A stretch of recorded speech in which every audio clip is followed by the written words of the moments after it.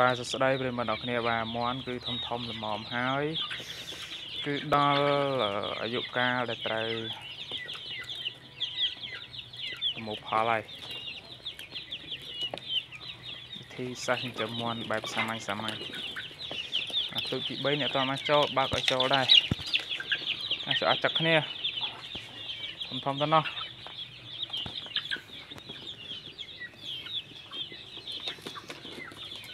បាទគឺមានលក្ខណៈល្អដែររស់បានល្អចិត្តបាននឹងឡើងជ្រុញហើយ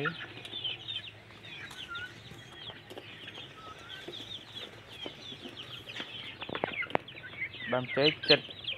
គាត់តែចឹកមួយថ្ងៃចិត្តដួលអស់ពីរដើមដើមចេក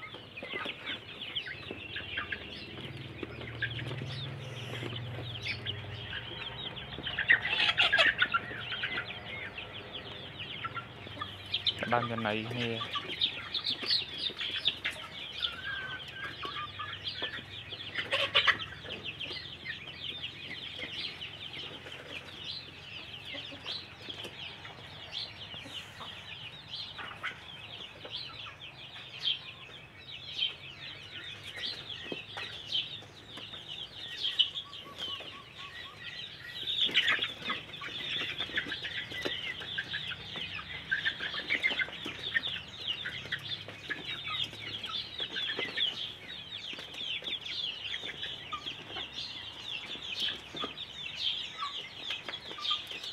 ចាស់ជាប់ជាប់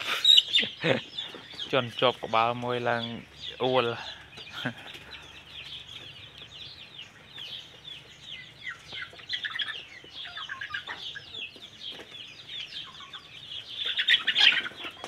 នោះនោះមេនោះខ្លាំងជាងគេមកចាក់